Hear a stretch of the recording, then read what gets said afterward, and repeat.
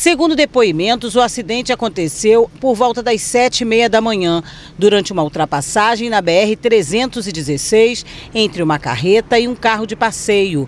Com a colisão frontal, os dois veículos pegaram fogo. Três pessoas morreram no local. No carro que pegou fogo após a colisão foram encontrados três corpos: o de Jaime, o motorista, o da filha dele, um bebê de apenas poucos meses, e o da sogra, conhecida como Raimundinha. Duas pessoas foram socorridas e encaminhadas ao hospital de Teresina: a esposa de Jaime, Amanda, e a tia dela, Dona Enaide. Uma parte da área da mata em volta onde ocorreu o acidente foi atingida pelo fogo.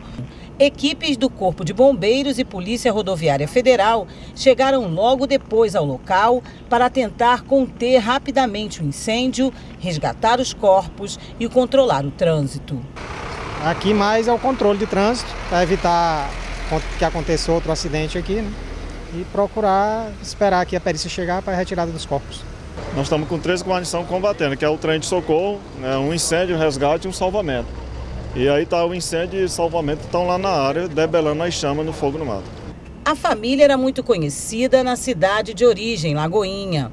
Jaime, o motorista que morreu carbonizado no acidente, era servidor municipal. Funcionário da gente. Uma perca grande da nossa cidade, uma grande tragédia. Estamos aqui lamentando muito e chorando a morte de pessoas queridas como eles lá de Lagoinha, do Piauí.